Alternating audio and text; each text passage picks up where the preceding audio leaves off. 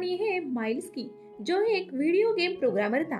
एक सवेरे जब वो अपनी नींद से उठता है तो अपने हाथों को देखकर बहुत घबरा जाता है, क्योंकि किसी ने उसके हाथों का ऑपरेशन करके उसमें गन्स फिट्स कर दी थी। एक गन्स उसके हाथों से शुरू होकर उसके कंधे तक स्क्रू और बोल्ट की हेल्प से जोड़ी गई थी, जिसे निकाल पाना उसके लिए मुश्किल हो रहा था। उनकी वजह से उसे अपने रोज के कामों को करने में परेशानी आ रही थी। मतलब उसकी छोटी सी हरकत से भी उस गन से गोलियाँ चल सकती थी। वो जब भी किसी से मदद मांगने की कोशिश करता था तो लोग उसे देखकर तुरंत पुलिस को फ़ोन कर देते थे। अब क्या माइल्स इस गन्स को अपने हाथों से निकालकर फिर से अपनी नॉर्मल लाइफ जी पाएगा? और सबसे ज़रूरी सवाल, उन गन्स को उसके हाथों में फिट किसने किया? और वो माइल्स से क्या करवाना चाहता है? माइल्स की पूरी कहानी जानने के लिए देखते रहिए हमारी आज की मूवी को, जिसका नाम है गर्ल्स अकिम्बो इस मूवी की शुरुआत में हमें बताया जाता है कि एक डार्क ऐप पर एक ऑनलाइन गैंगस्टर की कम्युनिटी है। वो खुद को स्कीज्म कहते हैं और इनका काम है बड़े बड़े क्रिमिनल्स को पैसों के लिए आपस में लड़ाना। और उनकी पूरी लड़ाई को स्कीज्म पर लाइव स्ट्रीम करते थे जिसको दुनिया भर के लोग डार्क वेब पर देखा करते थे। इस गेम की सबसे खतरनाक खिलाड़ी का नाम था निक्स। निक्स जब तेरह साल की थी, तब से वो गेम को खेल रही है और इसमें वो कभी भी नहीं हारी, क्योंकि इसमें हारने वाले को मरना पड़ता था। इसके बाद हम माइल्स को देखते हैं, जो गेमिंग कंपनी में कोडिंग का काम करता था। लोगों को लग रहा था कि उसका काम कितना बढ़िया है, पर असल में माइल्स को उसका काम बिल्कुल भी पसंद नहीं था।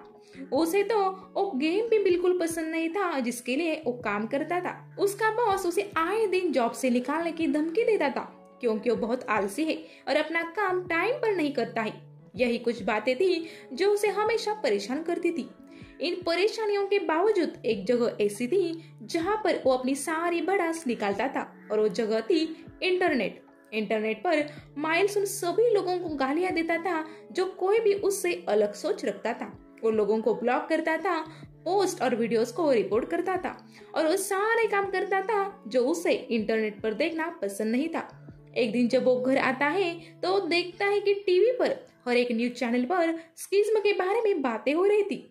माइल्स को लगा कि क्यों ना हो इंटरनेट पर उन लोगों का मज़ाक उड़ाए, जो स्कीज्म पर लोगों को मरते हुए लाइव देखते हैं। वो एक प्रोग्रामर था, इसलिए वो फटाफट डार्क वेब को ओपन करके उन लोगों को गालियाँ देने लगता है, जो लोगों को मरता हुआ देखकर खुश हो रहे थे। लेकिन उन्हें ट्रोल करते करते इस किस्म के ऊपर वो गलती से उस आदमी से भिड़ जाता है, जो उस पूरे नेटवर्क को चलाता था। इस आदमी का नाम रेक्टर था और उसे बिल्कुल पसंद नहीं था कि कोई उसके कस्टमर्स का इस तरह मज़ाक उड़ाए। उन्हें गालियाँ देते देते माइल्स को पता चल जाता है कि माइल्स का आईपी एड्रेस उन लोगों को पता है। इसलिए वो तुरंत इस किस्म को बंद कर देता है, क्योंकि आईपी एड्रेस से किसी को भी ट्रैक किया जा सकता है। तभी माइल्स को उसकी एक्स गर्लफ्रेंड का मैसेज आता है और उसे मिलना चाहती थी। माइल्स उसे मिलने के बारे में सोचकर काफ़ी खुश था और ऐसे ही सुंदर सा सपना देखते देखते वो सो जाता है। तभी उसके दरवाजे पर कोई ज़ोर ज़ोर से दस्तक देता माइल्स दरवाजे को खोलना नहीं चाहता था, पर वो उन लोगों को दरवाजे को तोड़ने से रोक नहीं पाया। अब हम देखते हैं कि ये आदमी कोई और नहीं, बल्कि रेक्टर ही था। स्कीजमा गेम का मालिक, वो माइल्स का लैपटॉप चेक करके कंफर्म करता है कि माइल्स वही आदमी है जो इंटरनेट पर उन्हें गालियाँ दे रहा था। उसके हाथों को तोड़ने आए थे क्योंकि उन्हीं हाथों से उसने इंटरनेट पर उसके बारे में भला बुरा लिखा था। लेकिन रेक्टर के दिमाग में माइल्स के लिए उससे भी बुरे प्लान थे। उसे बेहोश करते हैं और उसके हाथों का ऑपरेशन करके उसके अंदर दो गर्ल्स को फिट कर देते हैं। जब माइल्स को होश आता है, तब वो उन गन्स को देखकर बहुत ज़्यादा डर जाता है। माइल्स हेल्प करने के लिए अपनी गर्लफ्रेंड को कॉल करने की कोशिश कर रहा था, पर उन गन्स की वजह से वो अपने मोबाइल को पकड़ ही नहीं पाता। माइल्स को पता चलता है कि उसे 24 घंटे में एक निक्स नाम की लड़की को मारना है। निक्स इस गेम की सबसे बढ़िया खिलाड़ी थी, और माइल्स ने अपनी ज़िंदगी में किसी को मारना तो छोड़ो, कभी किसी से ऊँची आवाज़ में बात भी नहीं की थी। दूसरी तरफ़ हम निक्स को देखते हैं। जो रेक्टर से कह रही थी कि वो अब इस गेम को और नहीं खेलना चाहती। वो यहाँ से निकलना चाहती है। तब रेक्टर उसे कहता है कि, उसे एक और आदमी के साथ उसका आखिरी मैच खेलना है। इसके बाद वो इस गेम को छोड़कर जा सकती है। निक्स भेष बदलकर एक पुलिस स्टेशन में जाती है, क्योंकि वो किसी को भी मारने से पहले, सबसे पहले उसका क्रिमिनल बैकग्राउंड चेक करती थी। पर माइल्स की केस में ऐसा कुछ भी नहीं था। उसने कोई भी क्राइम नहीं किया था। वो तो एकदम शरीफ आदमी था। दूसरी तरफ़, माइल्स को गन्स की वजह से टॉयलेट करने में बहुत परेशानी आ रही थी, क्योंकि उसकी गलती और सब कुछ खत्म। और जैसे ही कपड़े पहनकर अपने अपार्टमेंट से बाहर निकलता ही, उसे अपने सामने निक्स दिखाई देती है। निक्स उसे देखते ही उसके ऊपर अंधाधुंध गोलियाँ चलाने लगती है। माइल्स उसे अपनी सिचुएशन समझाने की कोशिश करता है। पर निक्स को उसकी हालत से कोई मतलब नहीं था। और बस उसे मारना चाहती थी। माइल्स भागते भागते कुछ पुलिस वालों के सामने आता है और उनसे हेल्प माँगता है। पर पुलिस वाले उसके दोनों हाथों में गन्स को देखकर उसे सरेंडर होने के लिए कहते हैं। माइल्स उन्हें अपनी बात समझाने की कोशिश कर रहा था, पर माहौल और खराब हो जाता है। उन पुलिस वालों से भागते भागते माइल्स का दम घुटने लगता है, क्योंकि वो अस्थमा का मरीज़ था और वो अपना इनहेलर घर पर ही भूल गया था। वो पुलिस वाला उसे ज़ोर का बिजली का झटका देता है, पर उसके सामने से माइल्स गलती से उस पुलिस वाले पर ही गोली चला देता है। अब उसके पास वहाँ से भागने के अलावा कोई रास्ता नहीं था, क्योंकि निक्स उसके फ़ोन को ट्रैक करके उसके पीछे हाथ धोकर पड़ी हुई थी। अब वो भागते भागते एक गार्डन में आता है, जहाँ उसकी गर्लफ्रेंड नोवा उसका इंतज़ार कर रही थी। माइल्स उसे तुरंत ही वहाँ से चलने के लिए कहता है क्योंकि निक्स उन दोनों को वाजुका से उड़ाने वाली थी। वो इतना घबराया हुआ था कि वो अपने इस मिशन के बारे में नोवा से ठीक से झूठ भी नहीं बोल पाता। और जब नोवा उसके हाथों में गर्ज देखती है तो उसकी बातों को नहीं सुनती और उससे डर कर वहाँ से भाग जाती है। अब माइल्स का साथ देने वाला कोई भी नहीं था, इसलिए वो अब एक डस्टबिन में जाकर छुप जाता है। रेक्टर के लाइट ट्रीम वाले लोग उस पर नज़र रखे हुए थे। रेक्टर का लाइट ट्रीम वाला डायरेक्टर उससे नज़र हटाकर निक्स को फोकस में ले लेता है। पर रेक्टर माइल्स को ही देखना चाहता था। इस पर उनकी बहस होती है, लेकिन रेक्टर को उस पर इतना गुस्सा आता है कि वो अपने ही डायरेक्टर का गला दबाकर उसे मार देता है।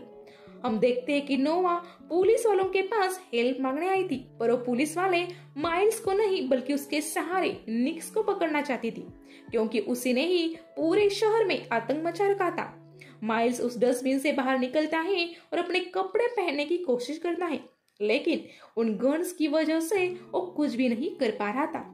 वो इतना निराश हो गया था कि वो आखिर में सुसाइड करने की सोचता है, पर उसके पास एक भिखारी बेटा था वो गर्ल्स को सही डायरेक्शन में रखने की एडवाइस देता है, जिससे गोली सीधे उसके दिमाग के पार जाए।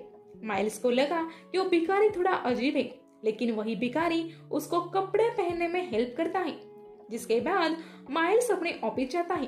तब उसे पता चल गया था कि उसे ट्रैक किया जा रहा है। रास्ते में जाते वक्त उसे पता चलता है कि उसके ऑफ़िस के कई लोग उसे इस किस्म की वजह से पहचाने लगे थे। वो अपने दोस्त से कहता है कि वो उसके फ़ोन से ट्रेसिंग वायरस को निकाल दे। जब उसका दोस्त वायरस को निकाल रहा था, तभी वहाँ पर उनका बॉस आ जाता है और माइल्स को ऑफ़िस लेट आने के लिए उस पर चिल्ला रहा था। माइल्स दिन की शुरुआत से ही बहुत कुछ देख रहा था। अब उसे अपने बॉस की बातें बर्दाश्त नहीं हो रही थी। इसलिए वो उसे अपनी गन्स दिखाकर उस पर चिल्लाने लगता है। उसके बॉस ने उसे पहली बार उसे इतने गुस्से में देखा था और ऊपर से इस बार उसके पास गन्स भी थी। इसलिए बॉस उससे डर जाता है। थोड़ी देर में वहाँ पर निक्स पहुँच जाती है, जो उसके बॉस को मारकर उनके ऑफ़िस के ऊपर फायरिंग करने लगती है। माइल्स भी उस पर गोली चलाता है, लेकिन उसका निशाना काफ़ी बेकार था। इतना बेकार कि वो गलती से भी निक्स को शूट नहीं कर पाता। वो एक कार को लेकर वहाँ से भाग जाता है पर बिना उंगलियों के उसे स्टेरिंग पकड़ने में परेशानी हो रही थी, जिसकी वजह से उसका एक जोरदार एक्सीडेंट हो जाता है और वो पूरी तरह से घायल हो जाता है। माइल्स निक को उसकी जान बख्शने के लिए कहता है, पर हमें यहाँ पता चलता है कि निक्स उसको इसलिए मारना चाहती थी क्योंकि ऐसा करने के बाद रेक्टर ने उसके सारे क्रिमिनल रिकॉर्ड्स को मिटाने का वादा किया था। माइल्स उस पर गोलियाँ चलाते चलाते गलती से गैस टैंक को शूट कर देता है और उसे निकलने वाली आग को देखकर निक्स एकदम से सुन्न पड़ जाती है, जैसे कि उसे आग से बहुत डर लगता हो। माइल्स के पास उसे मारने का मौका था, पर वो ऐसा नहीं करता और वहाँ से चला जाता है। इसके बाद वो नोवा को वीडियो कॉल करता है। और उसे कहता है कि उस शहर को छोड़कर कहीं दूर जा रहा है। पर रेक्टर उसे वीडियो कॉल पर ही किडनैप कर लेता है। क्योंकि वो नहीं चाहता था कि माइल्स इस गेम को छोड़कर कहीं जाए। रेक्टर उसे कहता है कि उसके पास निक्स को मारने के लिए सिर्फ़ पाँच घंटे ही और अगर उसने ऐसा नहीं किया तो नोवा को ज़िंदा ही गाड़ देगा। इसके बाद माइल्स अपने फ़ोन में फिर से उस ट्रैकर को ऑन कर देता है और उसी फ़ोन से पुलिस को फ़ोन करके अपनी लोकेशन पर बुलाता है, ताकि वो दोनों जैसे ही एक दूसरे के आमने सामने आए, पुलिस निक्स का इनकाउंटर करे। वो अपने फ़ोन को छोड़कर वहाँ से जाने लगता है, लेकिन गलती से वो कुछ गैंगस्टर के बीच पहुँच जाता है। वो वहाँ पर ड्रग्स की डीलिंग कर रहे थे। जब वो माइल्स को देखते हैं, तब उन्हें लगता है कि माइल्स उनकी जासूसी कर रहा था। इसलिए उसके सिर पर अपनी बंदूक तान देते हैं। लेकिन इससे पहले वो माइल्स को मारते निक्स वहाँ पर पहुँच जाती है और उस सभी लोगों को मशीन गन से शूट करके मार देती है। क्योंकि इस गेम को जीतने के लिए उसे ही माइल्स को मारना था। माइल्स वहाँ से जान बचाकर भागने लगता है, लेकिन इसी दौरान वो एक आदमी को शूट करके मार देता है। ये पहली बार था कि उसने किसी की जान ली हो, पर इसका कोई फ़ायदा नहीं होता। क्योंकि पुलिस ने उसे फिर भी गिरफ़्तार कर लिया था। वो माइल्स को गिरफ़्तार करके उसे अपने साथ पुलिस स्टेशन ले जाते हैं। और उन्हें समझाने की कोशिश करता है कि रेक्टर ऐसा उससे ज़बरदस्ती करवा रहा है और उन दोनों में से कोई भी उसकी सुनने को तैयार नहीं था। या माइल्स को पता चलता है कि नीक्स तो उस इंस्पेक्टर की बेटी है। दरअसल 16 साल पहले इंस्पेक्टर ने रेक्टर को अरेस्ट कर लिया था। और इसी का बदला लेने के लिए रेक्टर ने उस इंस्पेक्टर की पूरी फैमिली को कार पे बिठाकर बम से उड़ा दिया था। और इंस्पेक्टर कहता है कि उस धमाके में उसकी बेटी को छोड़ के उसका पूरा परिवार जलकर मर गया। तब माइल्स को समझ में आता है कि यही कारण था, इसलिए उस दिन नीक्स आग को देखकर इतना डर गई थी। हमें पता चलता है कि उन पुलिस वालों के बीच रेक्टर का एक खबरी भी था, और वो कहीं और नहीं, बल्कि माइल्स के साथ ही बैठा था। वो बहरूपिया इंस्पेक्टर को मार डालता है और माइल्स को रेक्टर की रिकॉर्डेड फुटेज दिखाता है, जिसमें वो कह रहा था कि अगर वो इसके बाद फिर से पुलिस से मदद मांगने गया तो वो उसकी गर्लफ्रेंड को मारने के लिए पाँच घंटे पूरे होने का इंतज़ार नहीं करेगा। माइल्स उस ऑफिसर की लाश के पास वही बैठा हुआ था। वो देखता है कि और इंस्पेक्टर उसके और नोवा के फ़ोन को ट्रैक कर रहा था। उसके बाद माइल्स अपने एक और हैकर फ्रेंड के पास जाता है। और उसके बाद नोवा के फ़ोन की एग्जैक्ट लोकेशन का पता करता है। और लड़की भी स्कीजमा की कस्टमर थी, वो माइल्स को पहचान लेती है और उसे बताती है कि वो अब तक का सबसे ज़्यादा देखा जाने वाला कंटेस्टेंट है। और शायद यही कारण था कि रेक्टर उसे इतनी आसान मौत नहीं देना चाहता था। वो चाहता था कि ज़्यादा से ज़्यादा लोग उसे इसी तरह अपने जान की भीख मांगते हुए देखें। हम देखते हैं कि माइल्स जब उसकी फ्रेंड की लोकेशन को ट्रेस करते करते एक जगह पर पहुँचता है, तब रेक्टर वहाँ पर उसी का इंतज़ार कर रहा था। उसके सामने नोवा को मारकर वहाँ से भाग जाता है। माइल्स अपने सामने नोवा को मरता हुआ देखकर रो ही रहा था कि तभी उसे पता चलता है कि ये लाश नोवा की नहीं, बल्कि उसके दोस्त की थी। अब वो समझ जाता है कि अगर उसे सब रोकना है तो उसे निक्स को मारना ही था। इसलिए वो फिर से अपने फ़ोन के जीपीएस को ऑन कर देता है, जिससे निक्स ट्रैक करते हुए उस तक पहुँच जाती है। माइल्स उसे कहता है कि हम दोनों को मिलकर रेक्टर से लड़ना होगा, नहीं तो हम में से कोई भी ज़िंदा नहीं बचेगा। पर निक्स उसकी एक नहीं सुनती और उसको गोलियों के बाद गोलियाँ मारकर शूट कर देती है। इस गेम में निक्स जीत जाती है, लेकिन जो लोग इस लाइव स्कीम को देख रहे थे, वो माइल्स की मौत से बिल्कुल भी खुश नहीं थे। क्योंकि उसने उन्हें किसी दूसरे कंटेस्टेंट से ज़्यादा मज़ा दिलवाया। नोवा माइल्स को मरता हुआ देखकर रोने लगती है और कुछ लोग उसकी बॉडी को वहाँ से उठाकर सभी सबूतों को साफ़ कर देते हैं। पर तभी हम देखते हैं कि अब जैसे वो लोग उसकी बॉडी को डिस्पोज करने वाले थे, तभी माइल्स उठकर आता है और उन दोनों को मार देता है। और ऐसा इसलिए हुआ था क्योंकि ये उसकी सोची समझी चाल थी। निक्स जब उसके पास आई थी, तब माइल्स ने उसे बताया कि जिस इंस्पेक्टर को रेक्टर ने मरवाया, वो उसके डैड थे। ये सच्चाई जानकर निक्स को रेक्टर से बदला लेना था। इसलिए उसने माइल्स को नहीं मारा। माइल्स ने शूट होने से पहले एक बुलेट प्रूफ जैकेट पहन ली थी, ताकि लोगों को लगे कि उसकी मौत हो चुकी है।